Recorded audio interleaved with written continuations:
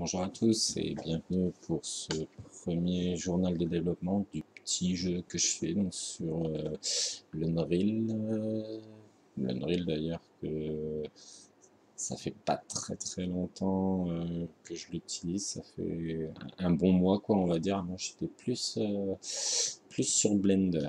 Donc le problème c'est qu'avec Blender j'étais plus sur les animations et là j'ai voulu me mettre un peu au niveau du jeu et sur Blender on est assez limité quand même. Donc euh, bah, je suis passé sur l'Unreal.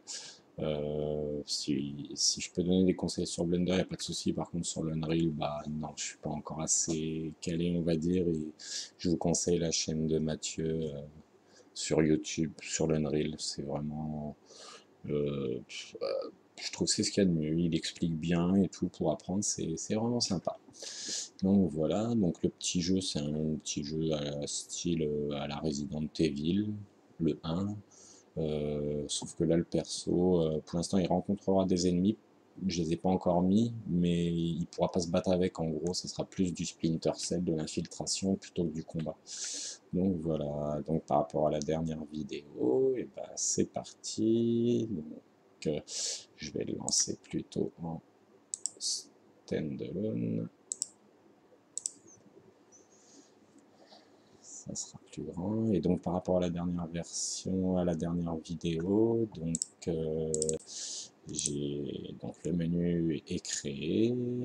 Il y a moyen de mettre en, ah ouais, il y a moyen de le mettre en plein écran. Donc le menu est, créé et fonctionnel.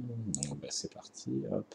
On m'avait conseillé les animations n'étaient pas terribles, donc j'ai refait les, les, animations, la marche, la, euh, le sprint. Euh, accroupi, je l'ai retravaillé, je l'ai pas refait, je l'ai retravaillé. Donc voilà. Donc là, la marche, hop, le sprint, hop, accroupi, et le saut qui lui a été... Je l'ai retouché un petit peu, mais pas énormément. Sinon, euh, donc euh, depuis la dernière vidéo, j'ai fait l'inventaire avec le sac. Pour l'instant, il est vide. Tout est fonctionnel, donc euh, le ramassage d'items. Pour ramasser les items, en fait, euh, j'ai créé une nouvelle touche. Donc, euh, avec la touche R, en fait, on peut, on peut en, gros, euh, c'est comme s'il y avait un radar devant les yeux. Et quand on passe devant les objets, on, voit si on peut les, si on peut ramasser un objet. En fait, ça nous met un petit message. Et donc voilà. Donc pareil, depuis la dernière fois, pas mal, euh, j'ai rajouté pas mal d'objets, et là j'ai fait le Lightning, mais il n'y a pas trop de vidéos de tutos sur YouTube en français, donc euh, pas évident, là ça commence à donner quelque chose de sympa, mais si certains passent sur ma vidéo et ont des conseils à me donner, je, suis preneur. Sinon sur la dernière vidéo, euh, le personnage pouvait perdre de la vie, mais par contre, en gros, il pouvait pas mourir et la vie pouvait même descendre en dessous de zéro. Donc tout ça, ça a été corrigé. Donc là, maintenant, si, si le perso donc, il perd de la vie, hop, voilà, j'ai même été. Donc maintenant, le perso peut mourir avec une animation.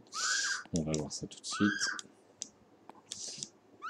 Et voilà. Et après, donc euh, après une petite période, on va retourner au, au menu principal.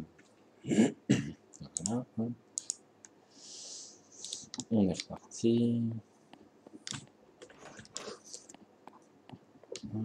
Donc, au niveau ça, je vais lui faire reperdre un peu de vie quand même. ce que donc a été implémenté, donc, les trousses, euh, le joueur en rencontrera régulièrement des trousses à pharmacie comme ça, qui peuvent s'ouvrir à l'intérieur. Donc il y aura des, soins pour récupérer de la vie. Donc là avec le système, donc euh, comme j'expliquais tout à l'heure, euh, une fois qu'on s'approche, on voit vérifier, ramasser qui s'affiche, c'est-à-dire qu'il y a quelque chose à ramasser.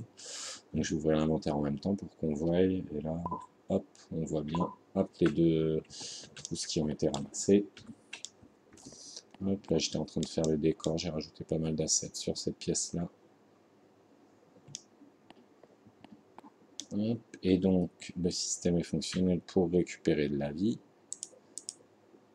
L'animation, c'est vraiment du basique, je vais la refaire. C'était juste histoire de, de caler l'animation, c'est tout. Et donc voilà. Et la dernière fois, je m'étais arrêté euh, à ce niveau-là.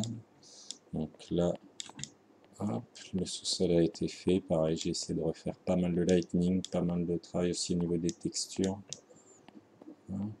Et là, j'avais recréé donc un, corridor en fait, avec une porte fermée qui peut ne s'ouvrir qu'avec une clé. Et donc, pareil, le système avait été implémenté euh, de la clé, elle se trouve en haut, Donc tout ça, ça marchera avec des espèces d'énigmes pour trouver la clé euh, qui permettront de débloquer. Euh. Donc toujours pareil pour ramasser la touche R, on regarde l'objet. Hop, on entend bien le plop au moment où elle est prise, normalement dans l'inventaire, voilà, pas de souci, elle se trouve là. On ne peut pas l'utiliser comme ça, ça nous dit qu'il faut la garder, c'est un objet de quête. Donc on y retourne. Là, le lightning, il n'y a, pas les... Là, il manque la, la lanterne et tout ça. C'est pas encore fait. Les objets, je fais ça petit à petit. Et donc là, un corridor qui mènera